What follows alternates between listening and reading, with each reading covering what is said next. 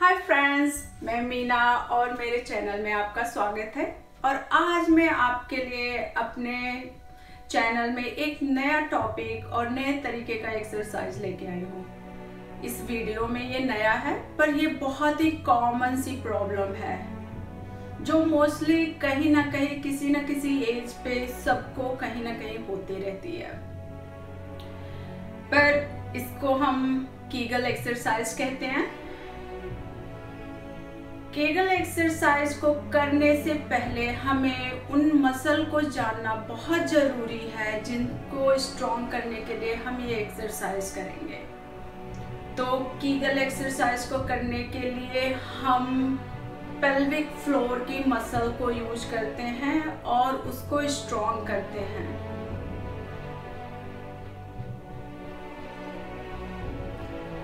अब आपको लग रहा हो ये कीगल एक्सरसाइज क्या है?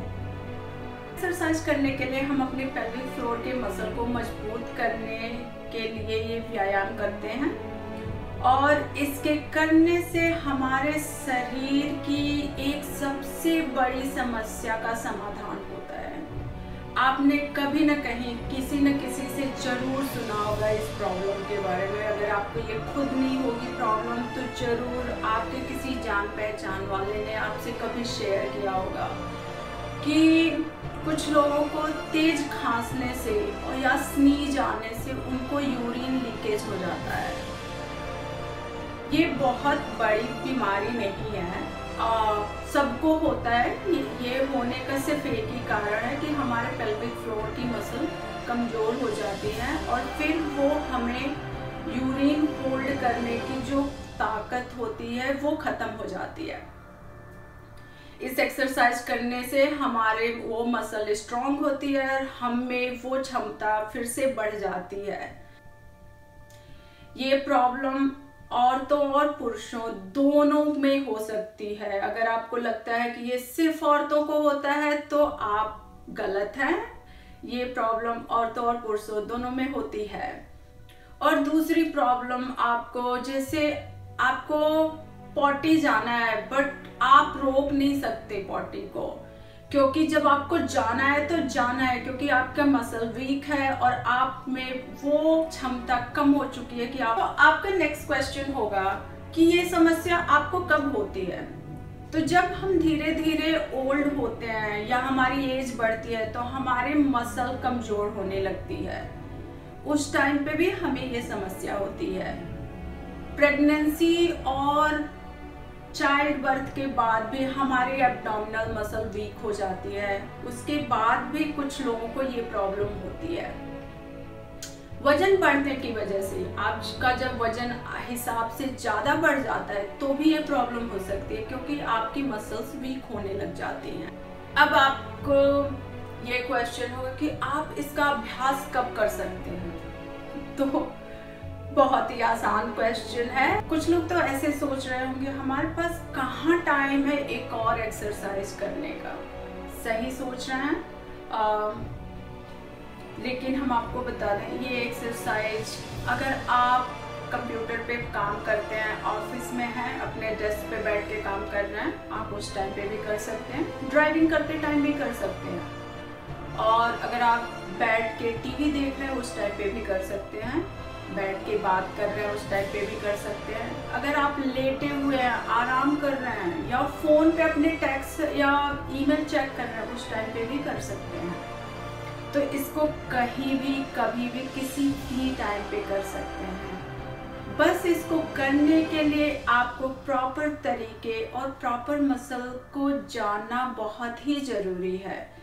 इसको करते टाइम प्रॉपर तरीके और प्रॉपर मसल को नहीं यूज़ कर रहे हैं तो आप इस एक्सरसाइज को नहीं कर रहे हैं। आप किसी और ही मसल को स्ट्रॉन्ग कर रहे हैं। इस एक्सरसाइज को करने के लिए आप सही मसल को कैसे खोजें?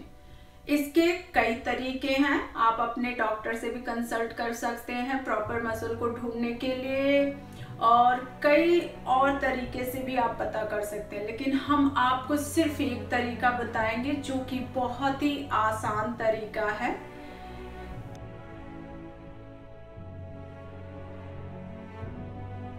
इस एक्सरसाइज को करने से पहले अगर आपको बाथरूम जाना है तो आप बाथरूम के लिए जाइए। बाथरूम करते टाइम जब आप फुल फ्लो में बाथरूम कर रहे हैं तो आप अपने बाथरूम के फ्लो को पिंच करें। और पिंच करके तीन से पाँच सेकंड होल्ड करने की कोशिश करिए। अगर जिसको ये प्रॉब्लम है, वो पाँच सेकंड तक नहीं होल्ड कर पाएगा, लेकिन एक से दो सेकंड या तीन सेकंड भी होल्ड करना बहुत बड़ी बात है। तो आप डिसअपॉइंट ना हो, क्योंकि इम्पोर्टेंट ये है कि आप पिंच कर पा रहे हैं। कुछ लोगों को हो सकता है पिंच करने में भी प्रॉब्लम हो, क्योंकि वो पिंच करते टाइम भी उनको थोड़ी लीकेज होती रहती है। तो आप उस टाइम जो पिंच आप करते हैं, जो फीलिंग आपको आती है, जो मसल आपको फील होती है कि पुल होके ऊपर जा रही है, इस एक्सरसाइज को करते टाइम आपको वही फीलिंग आनी चाहिए। अगर आप भूल जाते हैं, जैसे आप बाथरूम से निकले और कहीं बाहर बैठे हैं दूसरे दिन या तीसरे दिन या उसी दिन, और आप भूल जाते हैं कि आपको कैसी फीलिंग आ रही थी या कौन सी मसल पुल हो रही थी ऊपर की तरफ़ और आपने होल्ड किया था तो आप फिर जब बाथरूम करने जाएँ तो इसका प्रैक्टिस करें। और धीरे धीरे आपको वो फीलिंग आ जाएगी। और आप इस एक्सरसाइज को प्रॉपर और सही तरीके से सही मसल को यूज़ करते हुए करने लग जाएँगे। अगर इस एक्सरसाइज को करते टाइम आप अपने पैरों के ऊपरी मसल को या अपने बटाक्स की मसल को या अपने स्टमक की मसल को यूज़ कर रहे हैं तो आप समझ लीजिए आप इस मस, इस एक्सरसाइज को पूरी गलत तरीके से कर रहे हैं। और आपको इससे फ़ायदा नहीं मिलेगा। फाइनली जब आप प्रॉपर तरीके से प्रॉपर मसल को यूज़ करते हुए इस एक्सरसाइज करना जान जाएँगे तो आप इस एक्सरसाइज को कभी भी, कहीं भी, किसी भी टाइम कर सकते हैं। पर इस एक्सरसाइज को करने से पहले कुछ चीज़ों का ध्यान देना पड़ेगा।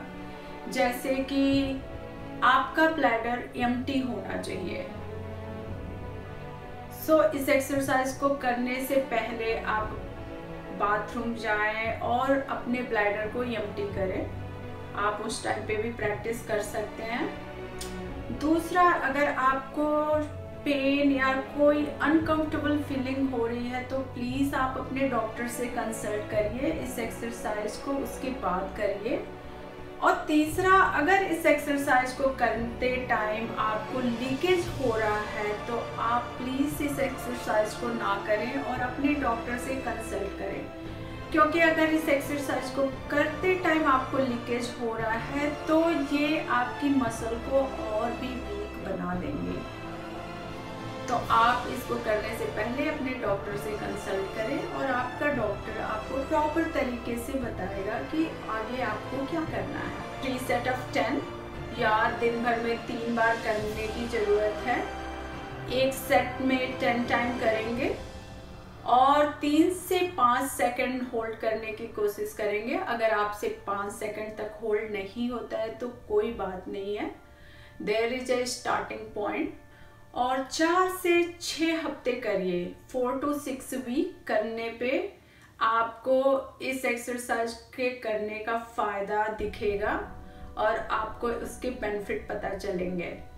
That's it for today thank you so much guys stay home stay safe and if you like my video, please click the like button and subscribe to my channel. Bye bye. See you soon.